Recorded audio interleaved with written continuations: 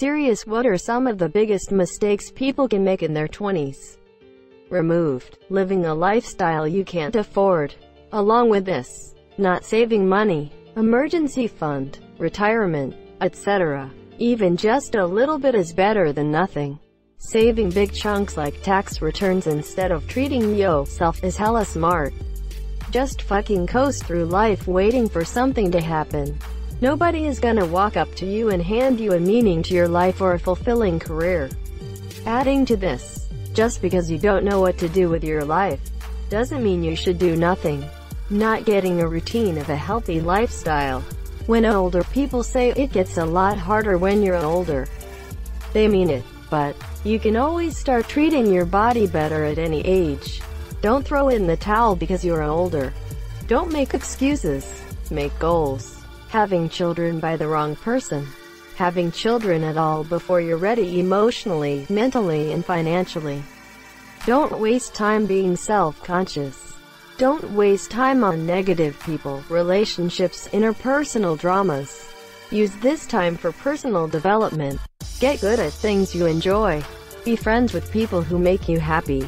Do interesting shit. Literally no one, ever, has looked back and been pleased that they spent six months embroiled in roommate drama. You're not going to, hopefully, be regaling the bar with how that bitch Cheryl bleached your towels in six years. It doesn't fucking matter. No one has ever been super jazzed that they nitpick their own appearance for seven years in. Consequently couldn't enjoy themselves because they were pulling at their clothing. I'm not talking about self-improvement. I'm talking about being really unhappy with yourself for the sake of being really unhappy with yourself. Stop doing that. You're fine. If your relationship involves screaming, drunken screaming, the silent treatment, weird subterfuge, or general nastiness, and I could make an endless list of bullshit behavior. Leave that relationship. You are going to outgrow friendships. Other people are going to outgrow your friendship. This is normal. It's not an indictment of you as a person. It can be painful. Handle it with grace. And always, think before you react. Always be your own devil's advocate. Think about others. Think about how you sound when dealing with conflict. Being a stable person is partially an acquired skill. Learn it. For the majority of my friends in high school it was trying heroin after experimenting with pills. Since then six have died and the rest are either struggling with their addiction or have completely ruined their lives. Edit. This is Central, Eastern Kentucky. Not exercising. Never stop. Keep an active lifestyle if you can. It only gets harder and harder to get back into it. Asterisk asterisk edit. Exercise isn't the mistake. Stopping is. As a teen who only studies, browses Reddit, and sleeps, I really should start not sitting down all day. Fuck everything else in this thread. Take care of your teeth. To add to this, go to the fucking dentist you are not Tom Hanks and cast away all isolated on a desert island. Get a DUI, DWI. It will seriously fuck up your life. Uber and taxis for years are cheaper than one DUI. Girl I knew since elementary drove drunk, got into an accident and killed a young teenage girl. She's in prison for 10 years. Her entire 20s wasted, including the loss of an innocent young life. Don't do it. Coasting on their potential. It's easy to put off actually doing anything while you're still basking in the glory of being the smart kid at school or university. But then all of a sudden you're 29 and there are celebrities younger than you and you find yourself wondering where to even get started. If you want something, the time to start working towards it is while you're young and hungry. You are young and life is long and there is time to kill today. And then one day you find 10 years have got behind you. Asterisk no one told you when to run. You missed the starting gun. Asterisk falling out of the habit of exercising regularly. It's such an easier habit to maintain than it is to adopt in one's 30s. Edit. This comment isn't about weight loss. It's about exercise. You can all stop talking about limiting calories. I've literally been there and done that. Looking thin is not the only component to having a healthy body. The solution is finding something you actually like to do. If running on a treadmill at Planet Fitness sounds like the literal manifestation of hell on earth, then maybe go wakeboarding a few times a week or lift weights or ride a bike or do yoga or fucking jazzercise. Whatever makes you happy and shows you progress in yourself over time is what you should do for exercise. Don't think that there is plenty of time to save for retirement. If it is possible for you to put something away on a regular basis, do it. The best time to start is when you get a job that offers you more pay than what you were getting. Take a percentage of the increase and start savings that right from the beginning. That helps make it such that you never miss it. Exactly what I came to say. 5 and hash 37 of your income in a 401k starting in your 20s is worth as much as 10 minus 15 and hash 37 starting in your 30s. Roughly. It is so easy to set yourself up with a nice nest egg even though it looks like nothing at first. It's amazing how well it builds over time. Not taking advantage of your greatest asset. Time. When I was talking with an older friend who was very well off, millionaire, I jokingly said, I'll trade you my age for your money. And his reply has always stuck with me. He said, I can do more with your time than you can do with my money. I didn't take it as an insult but as motivation to make the most of my time and not waste it. Buying vehicles they can barely afford. Not realizing that the really nice cars also usually have really high insurance rates. I saw this happen to some friends in my late teens, early 20s. My son is about to graduate HS. And then he's off to basic training with the USAF.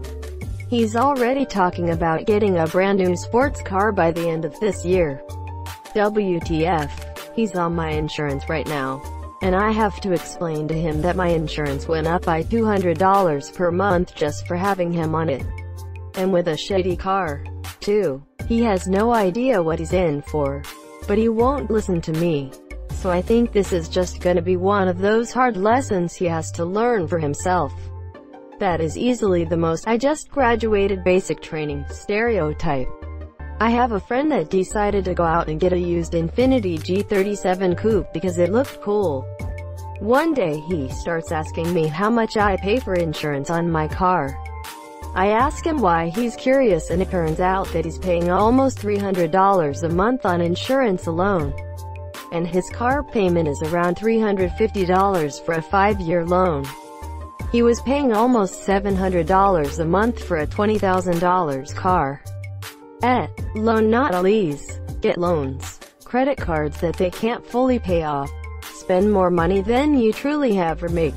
I did all that. Now I am punished by my own poor mistakes of trying to spend money with PPL who make way more. I got 2 to 3 more YRS and I am paid off. Not taking advantage of the freedoms you have now.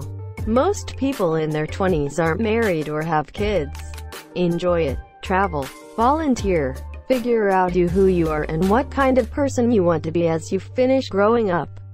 Don't saddle yourself down with a ton of responsibilities now because you will never be this young, this free, this full of energy, and have this many opportunities to grab life by the balls and enjoy yourself again. I have no energy. E. Eat better. Sleep better. I know. Less than 3. E. And wow. Some of you guys sound sad. It's okay. Best years of your life is a phrase.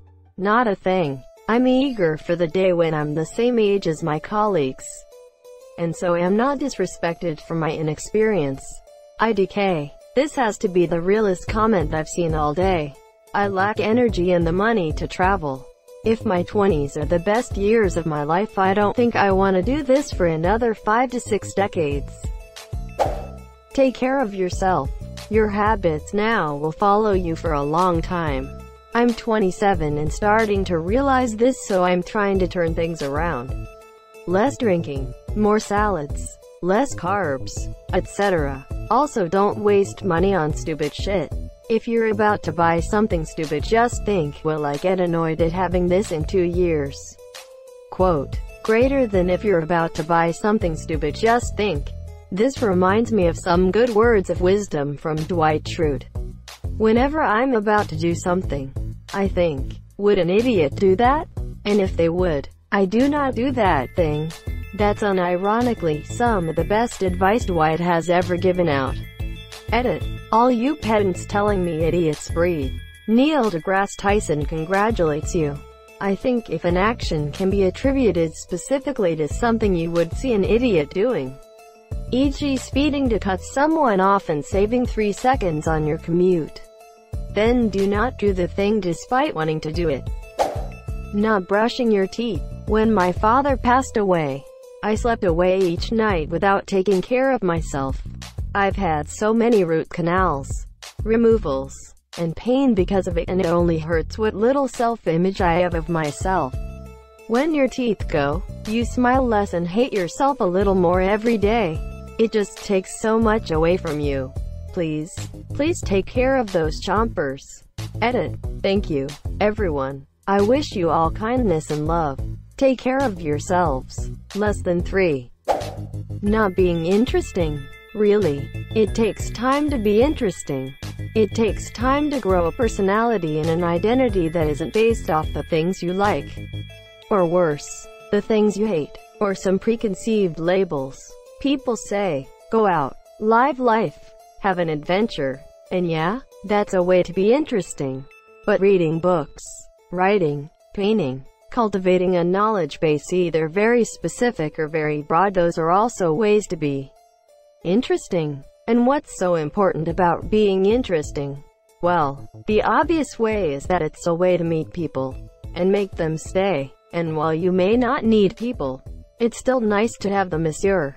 But I'd probably say even more important than that is that it gives you a sense of you who you are and what you want to do and thus ways to relate to people because you can't be interesting without interests and goals beyond just living to tomorrow and avoiding suffering. Because life isn't just about avoiding suffering. Or at least, we all should hope it isn't. And when tragedy inevitably comes, or you find yourself suddenly in a strange new place or alone, in the end, you'll find yourself interesting. Too interesting to give up on. Too interesting to throw away. So you know, do something unique. Dare to disagree. Explore an inclination. Scratch an itch. Because in this cynical world, it's dangerous to just be a collection of likes and dislikes. Easily moved and swayed because you don't have a place. Because you don't have a place you want to be. So be interesting. Thanks, that was inspiring. The Saved. Taking your loved ones and your health for granted. Spending too much. It's important to start getting into the habit of saving now. Though if you like to travel, do some traveling now when you're young and in good health. But travel frugally and safely. Being too afraid to take chances. Not thinking about what truly matters to you. Temporary, instant gratification versus long-term gratification.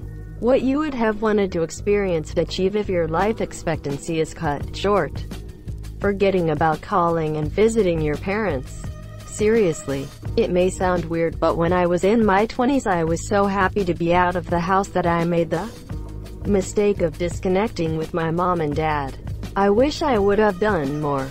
This. Two years ago, I was 24, took it for granted. Great relationship with my parents just didn't acknowledge it to them or really spend time with them as here I gotta call that my dad had cancer and they would get it removed ECT. A week later they said it was worse than they thought, and less than five days later he was dead.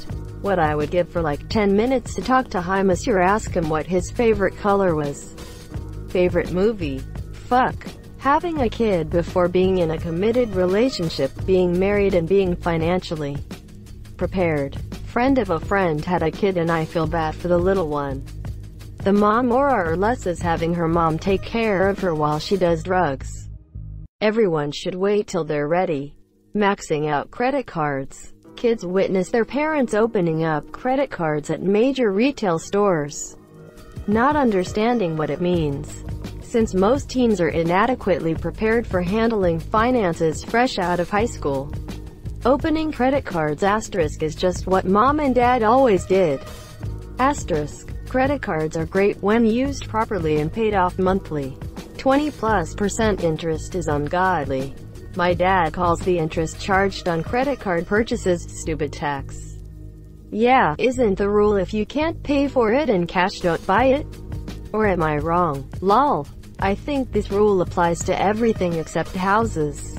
Thank you so much for watching and have a good day.